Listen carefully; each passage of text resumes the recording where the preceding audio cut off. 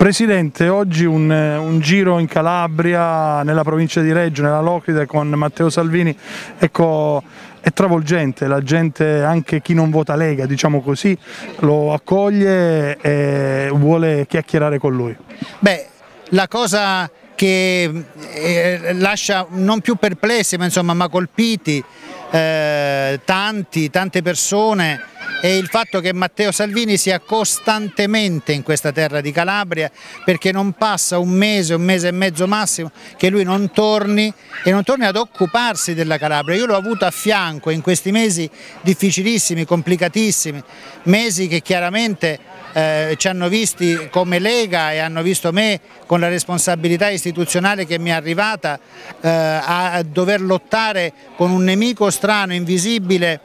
e, e pericolosissimo ma anche con una sorta di pregiudizio che in realtà invece la Lega stessa in quanto Lega è riuscita a superare. Sono contento del risultato che stiamo portando a casa giorno dopo giorno e sono anche molto contento di questa meravigliosa presenza delle persone che stanno dimostrando un grande affetto, una grande stima e un grande rispetto nei confronti di un grande politico che è Matteo Salvini. Un anno di Covid, un anno di governo regionale, eh, le elezioni però incoronato in tandem con Occhiuto